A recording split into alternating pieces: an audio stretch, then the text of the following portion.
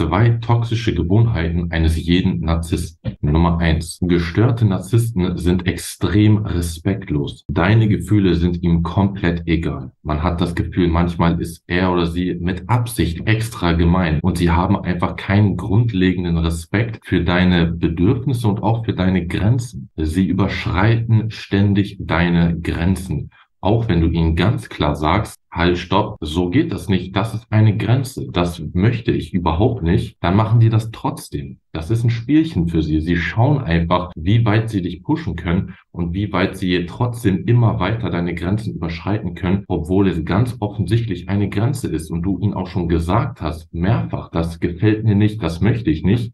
Und dann hat man das Gefühl, genau dann machen die es trotzdem, genau dann machen die das wieder. Man fühlt sich insgesamt einfach nicht gewertschätzt als Person. Es ist alles oberflächlich. Sie werden dir oberflächlich sagen, ich liebe dich, du bist mir viel wert. Ihre Handlungen zeigen aber eigentlich, dass du ihnen komplett egal bist und dass sie keinen Respekt für dich haben. Sie fordern natürlich extrem viel Respekt, dass du immer komplett respektvoll mit ihnen umgehst, dass sie die Götter schlechthin bist, dass du dich hinkniest und sie anhimmelst und oh je, ach Herr, du je, du bist der Allerbeste, du der gestörte Narzisst, machst alles richtig, alles ist super. Wenn du einmal mit der Hand winkst, dann muss alles passieren, alles rechtzeitig, es muss alles pünktlich da sein. Ach, du bist immer zu spät, kein Problem. Ach, du kannst machen, was du willst. Ja, natürlich.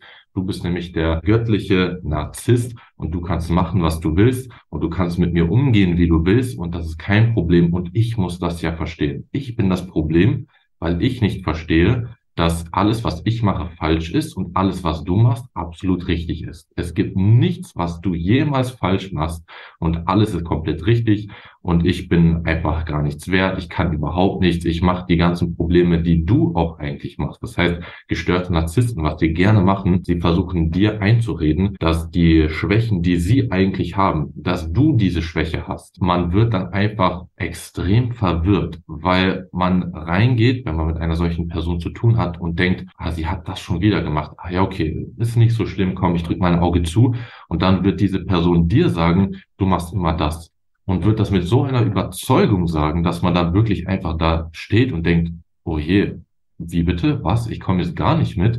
Und die Sachen, die sie sagen, sind so unglaublich absurd und realitätsfern, dass man gar nicht erwartet, dass jemand so sein könnte. Und dann steht man erstmal da und denkt, ähm, was? Ich weiß jetzt gar nicht wirklich nicht, was ich sagen soll, weil man das überhaupt nicht erwartet, dass jemand so absurd sein könnte, aber mit einer solch großen Überzeugung dahinter. Und diese Personen werden deinen Gutmut ausnutzen, dass du dann nicht direkt zurück sagst, du machst überhaupt keinen Sinn, stopp. So geht das einfach nicht weiter.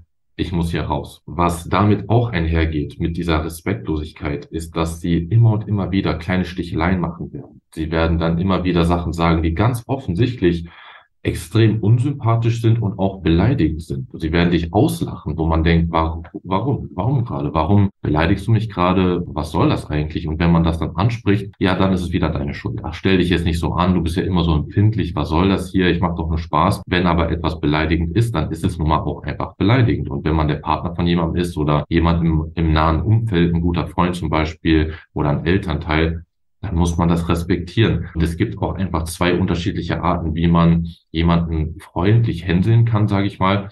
Dann ist es aber immer von beiden Seiten auch so verstanden. Aber wenn die eine Seite einfach nur beleidigt ist und dann sagt, jetzt stell dich nicht so an, du hast es einfach nur falsch verstanden. Nein, wenn etwas beleidigend ist, dann ist es halt einfach eben beleidigend. Und wenn es so ankommt, dann kommt es so an und das heißt, dass diese Person dich einfach nicht versteht. Wenn sie nicht versteht, dass das beleidigend war, was sie gesagt hat oder getan hat und du ihr das sagst und sie nicht den Respekt hat und sagen kann, ich respektiere das, tut mir leid. Es war nicht so gemeint und was das angeht, werde ich da jetzt nicht mehr diese Sticheleien machen, und genau dann werden sie aber immer nachhaken und diese Sticheleien machen und immer dieses Unterschwellige. Und das nennt man dann auch passive Aggression. Sie sind unglaublich passiv-aggressiv, weil, da habe ich auch schon ein Video dazu gemacht, sie selbst viel innere Wut haben und diese passiv rauslassen. Das heißt, die machen dich aggressiv, um zu sehen, um diese Aggression weiterzugeben. Diese Person ist jetzt aggressiv, nicht ich.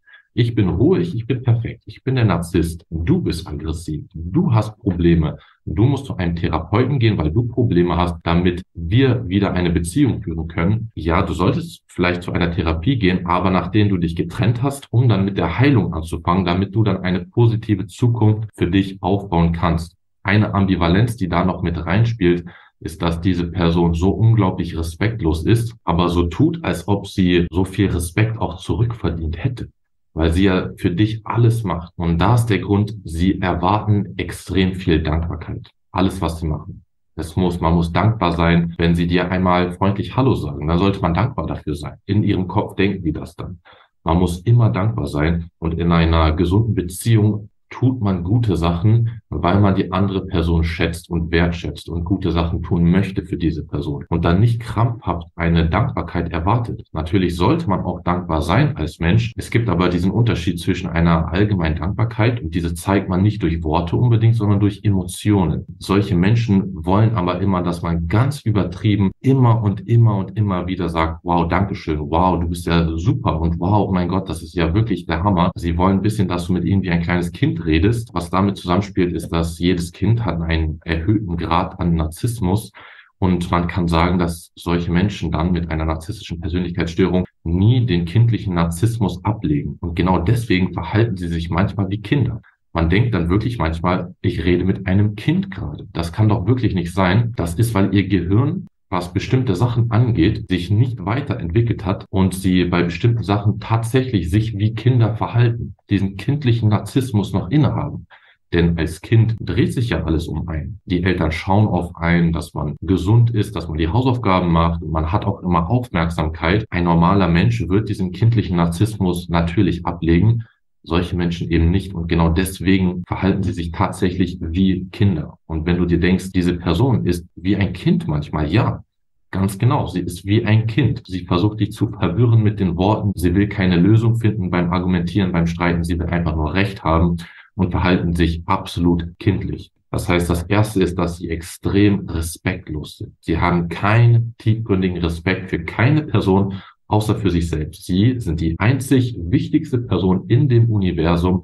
Nur sie sind ernst zu nehmen. Nur ihre Probleme sind ernst zu nehmen. Und du bist egal. Deine Probleme sind nichtig. Deine Probleme sind halb so wild. Wenn du auch mal ein Problem hast, dann wird diese Person sagen, ach komm, bitte, sei still. Meine Probleme sind viel wichtiger. Jetzt bitte, konzentriere dich wieder auf mich. Ja, es geht hier gerade um mich. Und je länger mit du einer solchen Person zu tun hast, wirst du auch wirklich merken, was verletzend ist dass du ihr einfach egal bist. Du bist ihr absolut egal und das ist leider so. Das ist tatsächlich leider so. Das Beste, was man da machen kann, wenn man es mit einer NPS zu tun hat, sich zu trennen und eine gute Beziehung zu finden und dann da auch die Arbeit reinstecken. Warum war ich überhaupt mit dieser Person zusammen? Warum habe ich mir das angetan? Zum Beispiel, ich bin der Leiter einer gemeinnützigen Organisation. Wir geben psychologische Beratung für Menschen, die dabei sind, sich zu trennen aus einer solchen Beziehung oder nach der Trennung anfangen, sich zu heilen, mit dem Prozess der Heilung anzufangen. Wenn ihr möchtet, könnt ihr gerne auf den Link unten klicken und da das entsprechende Kontaktformular ausfüllen. Die zweite toxische Gewohnheit eines jeden Narzissten ist, dass sie extrem viel Mitleid für sich selbst haben. Ihr Leben ist eine Tragödie in ihren Augen. Sie tun alles. Sie sind so gut. Sie sind solch gute Menschen. Sie haben so viel mehr verdient und es ist so unfair. Und du verstehst das nicht, dass er eigentlich in dieser Tragödie bist und du solltest ihn ja eigentlich viel mehr respektieren und ihm viel mehr Dankbarkeit zeigen, weil er oder sie geht ja so ein schwieriges Leben durch und ach, du hast ja keine Ahnung, du verstehst das einfach nicht, wie anstrengend das Leben ist mit ihm und jetzt bist du noch in seinem Leben. Oh je du bist ja so anstrengend und ach, aber du willst gehen. Nein, nein, das geht nicht. Das, du musst hier bleiben und bei mir sein und mein narzisstisches Opfer sein. Du darfst nicht gehen. Ich werde dich manipulieren, damit du nicht gehst, aber gleichzeitig, wenn du dann bleibst, du bist so anstrengend, mit dir stimmt einfach alles nicht und oh mein Gott, das ist, mein Leben ist sowieso so schon schwierig. Warum muss ich jetzt ausgerechnet dich als Partner haben?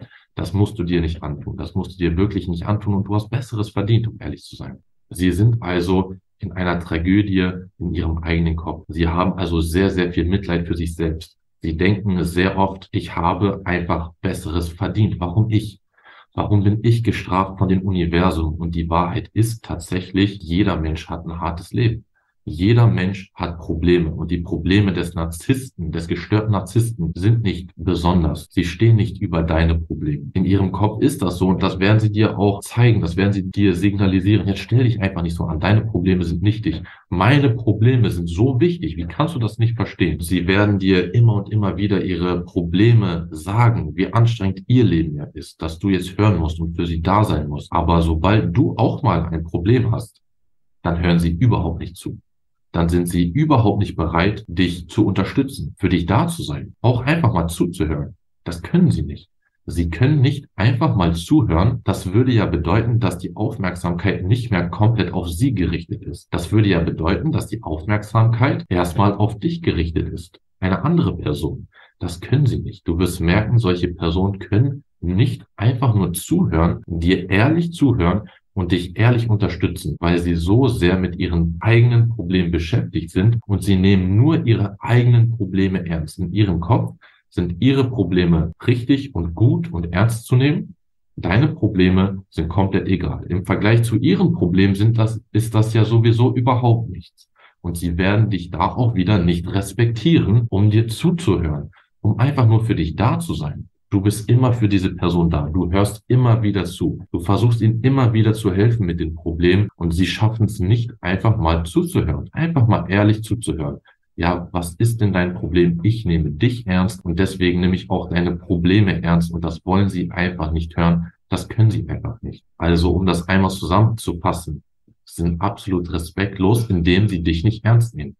Sie haben extrem viel Selbstmitleid. Sie sind wirklich gefüllt mit Mitleid für ihre eigene Person, für ihr eigenes Leben. Ihr eigenes Leben ist eine absolute Tragödie. Keiner versteht sie. Warum versteht keiner nicht, wie anstrengend mein Leben ist und dass ich eigentlich so super und gut bin. Ich bin ja schon fast ein Halbgott, weil ich all diese Sachen geschafft habe in meinem Leben und mein Leben ist so anstrengend und da muss man sagen, ja, allgemein hatten Menschen mit einer narzisstischen Persönlichkeitsstörung eine sehr, sehr traumatisierende Kindheit. Deswegen entwickelt sich dann auch diese Persönlichkeitsstörung. Die narzisstische Persönlichkeitsstörung, die entwickelt sich nicht ohne Grund. Man könnte schon fast sagen, das ist ein, ein Abwehrmechanismus, wie die Psyche die Probleme damit umgehen kann, das ist aber leider ein sehr ungesunder Mechanismus, Coping-Mechanismus, mit seinem Problem umzugehen, denn das wird die Probleme langfristig nur verstärken. Sie wurden nämlich in ihrer selbst so sehr blamiert, beleidigt, zerstört, als sie in ihrer Kindheit waren, von oft von ihren eigenen Eltern, weil eine narzisstische Persönlichkeitsstörung wird oft weitergegeben von Generation zu Generation und dann geben sie ihre inneren Probleme jetzt an dich weiter. Und da ist dann auch, falls jemand zuhört, der ein Kind ist von einer Person mit einer narzisstischen Persönlichkeitsstörung und selbst merkt, ich bin da irgendwie drin, vielleicht bin ich zum Antinarzissten geworden, nenne ich das. Man hat ähnliche Probleme, aber von der Genetik ist man einfach ganz anders und geht anders damit um. Aber man geht dann oft Beziehungen ein mit Menschen, die so sind. Und das ist langfristig einfach nicht gesund für einen selbst, für das äh, Wohlbefinden. Auf der anderen Seite, wenn du vielleicht merkst, ich neige auch zu stark narzisstischen Zügen hin. Wie kann ich das ändern? Weil das ist nicht gut. Und der erste und ein ganz, ganz großer Punkt ist da, ein wichtiger Punkt und Aspekt ist da, dass du überhaupt merkst, dass du solche narzisstischen Züge hast. Denn es gibt Menschen, die merken das. Mein Vater, meine Mutter war auch so. Ich neige jetzt auch in diese Richtung hin und ich bin sehr unzufrieden. Und der größte Punkt ist, dass du das erkannt hast. Denn Menschen mit einer narzisstischen Persönlichkeitsstörung, der größte und schwierigste Punkt ist, dass sie das einfach nicht akzeptieren wollen.